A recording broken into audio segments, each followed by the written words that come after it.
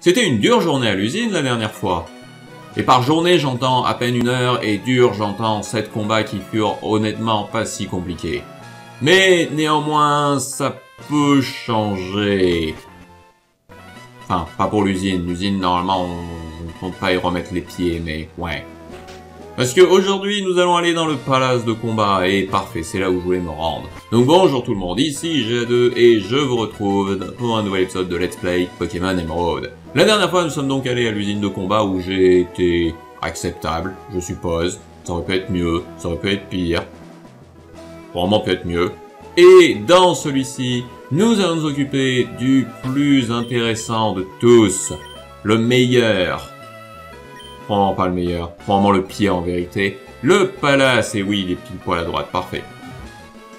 Le palace de combat, de ce que je me souviens et de ce que j'ai recherché, est basé sur la tente de combat de Bergazon. Comprendre, vous allez laisser vos Pokémon faire ce qu'ils veulent tout seuls. Hum, c'est nul.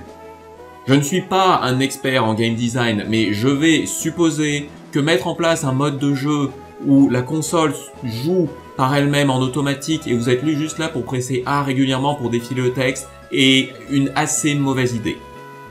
Je conçois qu'ils essaient de diversifier un maximum le, les styles, les mécaniques, faire en sorte que tout soit un peu unique, mais n'avoir aucun contrôle est vraiment lourd. Vous avez techniquement, vaguement, un contrôle, mais le problème est que celui-ci est très modéré car vous ne choisissez pas ce que fait votre Pokémon et tout est lié à un système de pourcentage. Il faut comprendre que dans ce mode de jeu, la nature de votre Pokémon, donc pour ceux qui n'ont pas du tout suivi ou qui se contentent juste de regarder ces vidéos à ce moment-là tout de suite pour je ne sais quelle raison, Nature est donc ce qui est marqué là en dessous du mémo dresseur, doux de nature, timide de nature, bizarre de nature, doux de nature, calme de nature et bizarre de nature. Ah tiens, c'est bizarre toi aussi. Ah, à savoir que celles-ci vont avoir un impact sur vos statistiques en augmentant ou en en diminuant euh, une statistique et une autre de 10%. Genre par exemple, timide réduit de 10% l'attaque d'Atago mais augmente de 10% sa vitesse, ou certaines comme Bizarre ne vont n'avoir aucun effet. Ces natures ont donc une autre utilité dans ce jeu, à savoir qu'elles vont déterminer comment le Poké se bat s'il est par lui-même. Cette euh, gentille petite fille va nous donner les informations sur chacun de nos Pokés. Par exemple, il prend soin de lui, mais s'il se retrouve couvert de beau, il deviendra sournois. Cela signifie que tous les Pokémon qui ont une nature doux auront tendance à être défensifs ou support, probablement plus support en vérité, mais euh, s'ils tombent à 50% ou moins de leur point de vie, ils se mettront à se battre.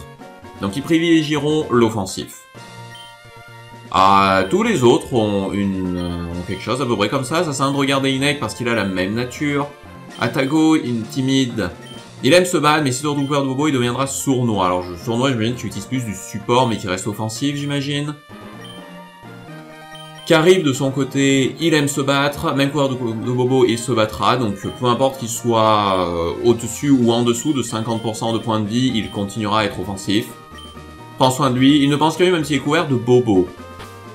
Euh, donc Minge de mémoire, tu es, je sais pas pourquoi je dis mal bon, calme, calme et assez donc déconseillé puisqu'il est défensif, etc. Ça peut être intéressant si vous avez une stratégie fixe, parce que je pense que vous pouvez changer quel Pokémon et envoyer quand, donc vous pouvez toujours l'envoyer en premier pour qu'il utilise du soutien comme les murs, etc.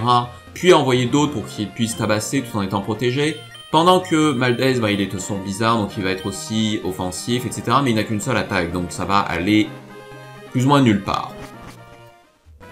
Pour être plus précis, il existe des natures spécifiques qui sont entre guillemets recommandées, mais avec des, bien entendu, inconvénients. Un poli a 88% de chance d'utiliser une attaque offensive, car tout est basé sur des pourcentages. Vous avez attaque offensive, attaque défensive et attaque de soutien, et chaque nature possède des pourcentages différents de les utiliser. Donc dans le cas d'un poli, c'est 88% de chance d'utiliser une attaque offensive, ce qui est très bon. Si un Pokémon euh, essaye d'utiliser une attaque qui n'est pas du style désiré, par exemple, donc il est 88% offensif, il décide d'utiliser une attaque offensive, mais il n'a pas d'attaque offensive de disponible, ce qui est assez improbable, il va être indiqué qu'il n'a pas réussi à utiliser sa puissance. Ça peut arriver si par exemple votre Poké est, euh, a du genre une attaque 20. Mettons à Minch.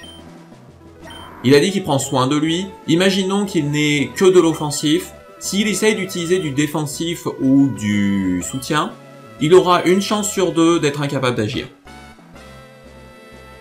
Mais s'il a accès à du soutien ou etc., ben, il va l'utiliser forcément. Donc, un poli a 88% de chance de base de pouvoir utiliser des attaques offensives, donc très bon pour bourriner, mais ça tombe à 22% s'il est en dessous de 50% de vie. Brave à 70% puis 32%, Malin à 69 et 28, Timide est à 62 et 30%, ce qui m'étonne, on aurait pu imaginer que ce serait l'inverse. Hardy est à 61 et 61, ce qui prend probablement de lui le meilleur. Pressé est à 58% puis à 88%, ce qui est plutôt sympathique. Pendant que docile, naïf, calme et bizarre sont à 56% constamment. Uniquement sur l'offensive, j'entends. Ce qui est probablement ce qui vous intéresse le plus si vous avez une stratégie définie, puisque vous voulez taper. Sympa l'atmosphère. Je me demande quelle est la nature, d'un Pokémon qui affaiblit l'ennemi petit à petit pour prendre la tête. Cependant qu'il soit l'âge de nature. Non, ça ne peut pas être ça. Hmm, apparemment ici c'est la nature des Pokémon ainsi que les capacités qu'ils connaissent qui sont importantes. En fait, il faut que les capacités qu'ils connaissent soient en accord avec leur nature. Si un Pokémon en difficulté et il n'est pas à la hauteur de son potentiel, il faut se demander si ses capacités correspondent bien à sa nature. Idéalement donc pour ce genre d'endroit, vous devez avoir une équipe qui est spécifiquement conçue pour, soit avec des natures adaptées, soit avec des attaques adaptées à sa nature. Le problème est que attaque adaptée à sa nature, c'est compliqué à utiliser, et des attaques de soutien, ça va être compliqué. Pour un dresseur hardy comme moi, il faut devenir hardy aussi. L'attaque est la meilleure des défenses, faut attaquer sans cesse. C'est pas de ça que je voulais parler. De temps en temps, il y a une fille super mignonne qui passe par ici. Elle dit qu'elle est capable de savoir ce que les pense. Je sais pas si c'est vrai, mais en tout cas, elle est super mignonne. Et voyons, regarde ça. C'est une gamine. Mais je suppose qu'il entend, elle est trognon, parce que voilà, c'est une petite fille, j'imagine. On va s'arrêter là. Mon Pokémon est très docile en temps normal. Mais dès qu'il est dans un hall de combat, il n'est plus le même, il devient méchant. Je t'assure, il me fait peur. Ok. Donc on a aussi combat double et combat solo. Ah, on va euh, se lancer dessus. On va y aller jusqu'à ce que ça se finisse soit par lui-même, soit ça dure trop. Parce que là, l'inverse de l'usine de combat, je n'ai aucun contrôle sur rien. Bienvenue au palace, mettons en prise, sur votre guide dans les halls, voulez relever d'un défi Oui. Donc moi, bien sûr, je dois prendre le niveau libre. Pour rappel, niveau 50 signifie que les Pokémon sont tous jusqu'au niveau 50 maximum. Donc si votre équipe est niveau 45, 46, 47, etc., prenez ça. Mais si elle est au-dessus, ah, en fait, vous êtes bloqué. Si vous êtes entre le niveau 51 et 60, j'ai l'impression que vous ne pouvez rien faire ici. Mais quand vous êtes 60, enfin 51 et 59, si vous êtes 60 ou plus, vous devez prendre le niveau 60 et le niveau des adversaires sera basé sur votre Pokémon de plus haut niveau. Donc de mon côté, je vais prendre Carib. Parce que comme il est bizarre, il va être plutôt offensif. Euh, ce qui m'ennuie, c'est que comme il a repos, ça peut vraiment être problématique. En vérité, vous savez quoi? Euh, Alors je ne sais plus si les objets tenus sont autorisés, ou s'ils sont retirés mystérieusement, ou qu'est-ce que j'en sais. Mais comme je m'attends à ce qu'il utilise de manière aléatoire cochonnerie de repos et que je n'ai pas envie de lui retirer pour lui mettre autre chose, ou alors il faudrait que je ne souvienne pas après. On va y mettre une baie marron pour qu'au moins la première fois ce soit utile et pas juste une euh, perte de notre temps. Donc niveau libre. On va commencer avec Carib, on va prendre Inek et on va prendre Atago.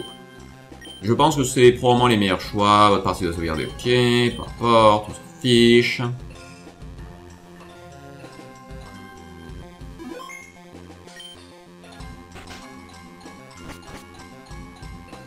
Non, il y a des Pokémon partout. Les genres et les Pokémon, c'est pareil. Leur nature la fait qu'ils sont très doués pour certaines choses et beaucoup moins pour d'autres. C'est profond, je suppose. Pas le temps, viens te battre On n'ira très certainement pas jusqu'au 7 combat, ça va prendre trop longtemps et ça va être assez inintéressant. Puisque bien entendu, le problème est que, sauf de pouvoir contrôler, voilà. Nos adversaires seront tous très faibles. Je veux dire, Ramonita n'est pas évolué ni rien. Et ok, donc là j'ai pas eu de chance, puisque la première chose qu'il a essayé de faire est de me balancer... Attendez quoi, chatouille Ah, je ne savais pas que l'animation se faisait en dépit du fait qu'il ne pouvait pas euh, subir le... Donc là, vous voyez, par exemple, j'ai pas eu de chance. Il a pas eu son 56% de chance de balancer... Aïe. Le... une attaque offensive et il est parti immédiatement sur repos. Ce qui est lourdin, parce que ça signifie que Kari va probablement être ultra inutile. Donc maintenant, il est supposé être plus offensif, je suppose.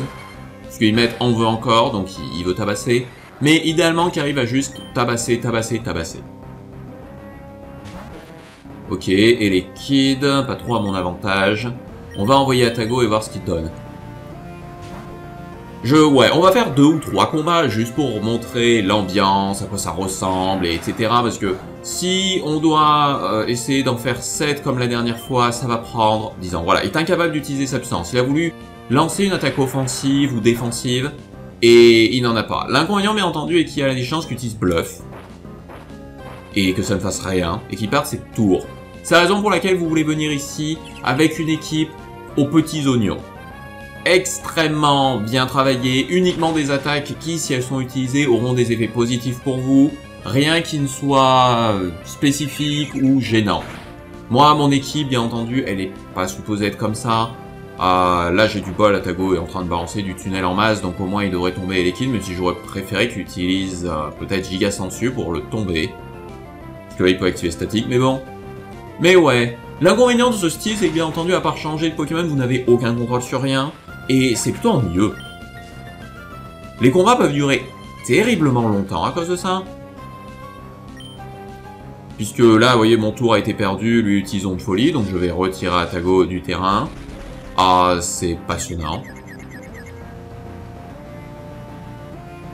Mais son lumière, lui est parti. Ah, donc on va envoyer Carib. Et ça peut juste tourner en rond très très vite, très très longtemps. C'est très intéressant, je trouve. Alors, pour une raison quelconque, Carib tend à utiliser la bonne attaque, par contre, donc je ne sais pas si euh, c'est complètement au hasard et qu'il en prend une vraiment au pif parmi celles qu'il possède, mais par exemple, il a utilisé deux fois Surf contre Amonita, ce qui était la bonne chose à faire. Là, il utilise Laser contre Lilia, qui est la, bonne attaque. Et cette fois-ci, il utilise Surf, ce qui techniquement marche aussi. Moins, mais ça marche. D'ailleurs, on n'a pas eu de texte pour dire qu'il en voulait encore, ou etc. J'imagine que ouais, c'est pour sa nature, il ne change rien du tout. Ah non, si, maintenant il le dit, donc il n'était pas encore considéré comme... Non, ça a l'air d'être complètement aléatoire. Ok. J'ai eu de la chance. Pour qu'il utilise les bonnes attaques euh, les premières fois. Et gagné, je suis vraiment triste. Pour moi, ça n'a pas duré indéfiniment, mais c'est là... Le deuxième adversaire est prêt, vous nous demandez de continuer. En avant, la musique. Ok, Rockstar, calme. Donc ouais, j'ai rien à dire. J'ai rien à expliquer. C'est... Oh oh. Ce truc n'a que bélier, ça va être intéressant. Pourquoi tu veux toujours... Est-ce que... Est-ce que ça t'ennuie d'être là? Est-ce que tu veux juste... Euh, aller au lit? Ah oui, la bélier, il me marche la tête déjà.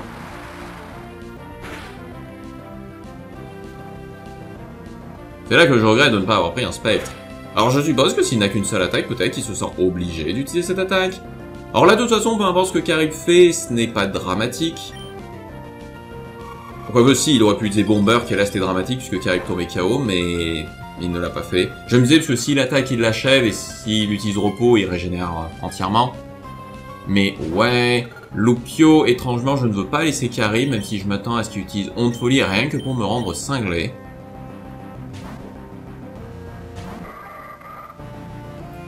Non, étincelle qui va paralyser.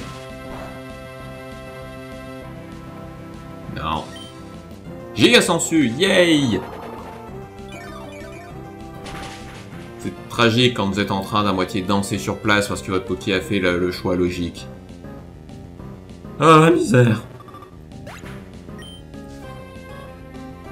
Au moins ça va à peu près vite, mais c'est essentiellement parce qu'on affronte des adversaires qui sont plutôt faibles. Comme pour l'usine de combat, parce que je vais partir du principe qu'elles fonctionnent toutes de la même manière à part la tour de combat, vous allez donc bien entendu faire des séries de 7 affrontements. Si vous avez remporté les 7, vous recevez des... Ok, tu comprends. Des points, euh, de, des BP, des machins. Et vous aurez le droit de recommencer contre des adversaires un peu plus forts, et ça continuera comme ça Alors, moi, ce que je comprends, as tu un œuf? Non. Ils sont interdits dans cette zone.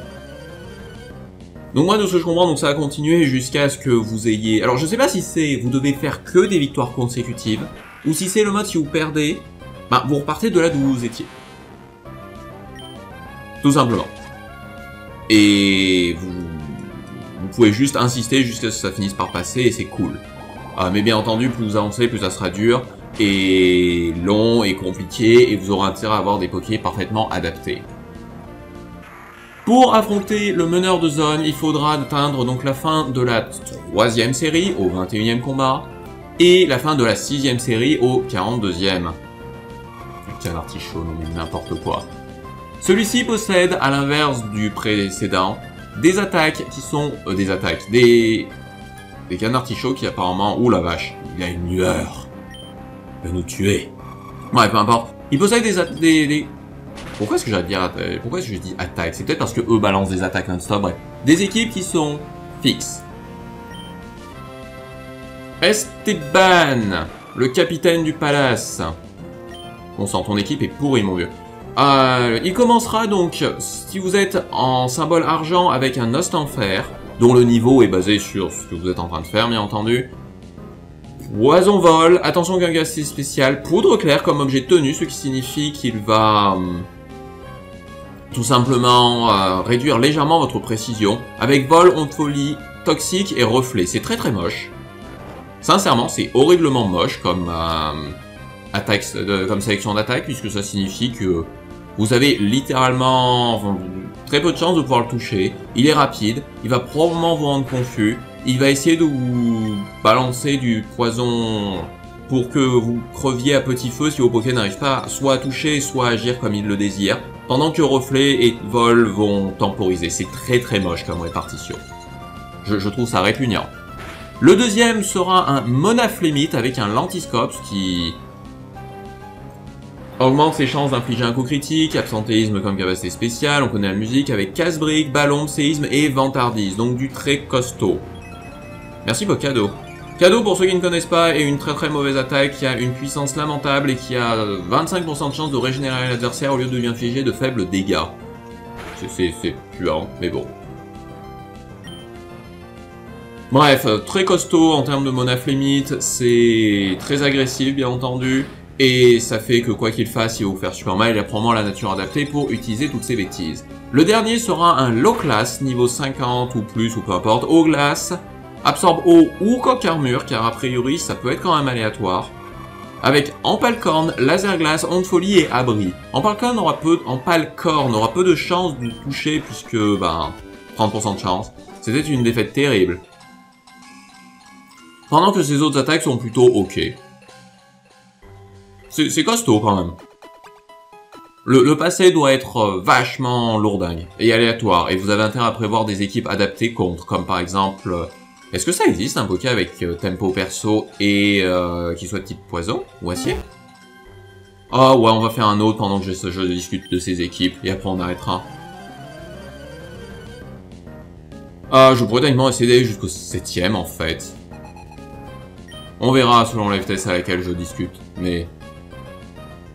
Normalement un seul combat devrait suffire pour finir euh, son autre équipe, puisque on va en parler directement pour la version or, il va commencer avec un arcanin qui possède soit intimidation, soit torche, de type feu, bien entendu, avec une herbe blanche de tenue pour bien entendu régénérer ses statistiques perdues à cause de surchauffe, et donc surchauffe, vitesse extrême, hurlement et abri. C'est des bonnes attaques. Ah, c'est... Sincèrement, c'est plutôt costaud. Et c'est très moche de manière générale. Le suivant sera le même monaflémite quasiment que tout à l'heure. Mais enfin toujours avec le lentiscope, mais cette fois-ci avec Ultra Laser, à l'ombre, séisme et paillement. Ultra Laser est un bon choix de toute façon pour tout monaflémite, puisque comme il a absentéisme, il perd forcément un tour après avoir agi, donc euh, le tour de entre guillemets recul d'Ultra Laser n'a aucun impact particulier. Ah, donc c'est très très fort, bien entendu. Et oui, vous voyez, ça, Bémarron revient entre chaque combat, ce qui est très pratique. Pendant que son dernier n'est rien de moins qu'un Suicune. Présion comme capacité spéciale, type eau, roche royale, donc avec 10% euh, de chance de pouvoir vous effrayer, quelque chose comme ça. Et surf, morsure, blizzard et plénitude, c'est très très violent. Le fait qu'il ait plénitude est quelque chose qui était très classique en compétitif, puisque Suicune est un tank spécial très violent. Et c'est de très bonnes attaques. Quelle réussite, c'est vraiment fabuleux. C'est quoi, c'est le sixième après ça? Non, cinquième? Euh... Ouais, on va abandonner le défi. Ah, je suis désolé, mais... Euh, non. Ah, si on avait été au sixième, j'aurais peut-être continué juste par principe de finir la série, mais non, c'est là, il y a vraiment aucune stratégie, vous appuyez sur A en espérant que vos Pokémon fassent la bonne chose, vous remplacez vos Pokémon par un autre si jamais il est trop désavantagé, et vous croisez les doigts. J'avais dit plus ou moins tout ce que j'avais à dire, j'ai présenté le meneur de la zone, on a vu le concept, j'ai parlé des natures qui peuvent valoir le coup, Ici, c'est vraiment le genre d'endroit où vous voulez venir avec des attaques très spécifiques, probablement vous adapter à l'équipe d'Esteban, au moins quelqu'un pour gérer son Austin Fair, je suppose, et de quoi tenir son Suicune. Ah, autrement, je sais pas. J'aime vraiment pas cet endroit sur le concept. Vous avez très peu de contrôle et je suis presque sûr que Esteban a probablement des équipes parfaitement adaptées pour ce qu'il veut faire. Peut-être, ça se trouve, ces Poké seraient constamment en mode « ne peut pas utiliser sa puissance ». Mais j'en doute. Néanmoins, je pense que c'est pas si mal pour aujourd'hui. C'est sûr que c'est beaucoup plus court que le précédent, mais je trouve que... Je, suis pas un adorateur de ce système. Je, trouve que simplement faire du pile ou face constamment est lourdin plus qu'autre chose. Et par contre, qui arrive, on va te retirer la baie marron parce que elle est cool, mais je préfère euh, que tu aies des objets qui sont non consommables. Voilà. Mais avec ça, ouais, je pense qu'on va s'arrêter là et que je vous retrouverai la prochaine fois pour qu'on puisse passer au dojo de combat. Donc d'ici là, ciao